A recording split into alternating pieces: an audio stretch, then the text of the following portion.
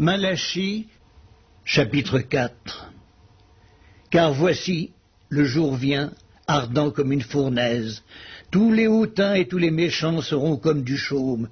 Le jour qui vient les embrasera, dit l'Éternel des armées. Il ne leur laissera ni racine, ni rameaux. Mais pour vous qui craignez mon nom, se lèvera le soleil de la justice, et la guérison sera sous ses ailes. Vous sortirez, vous sauterez comme les veaux d'une étable, et vous foulerez les méchants, car ils seront comme de la cendre sous la plante de vos pieds, au jour que je prépare, dit l'Éternel des armées.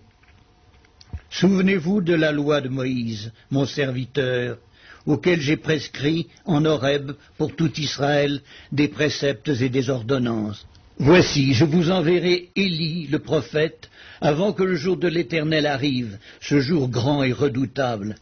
Il ramènera le cœur des pères à leurs enfants et le cœur des enfants à leurs pères, de peur que je ne vienne frapper le pays d'interdit.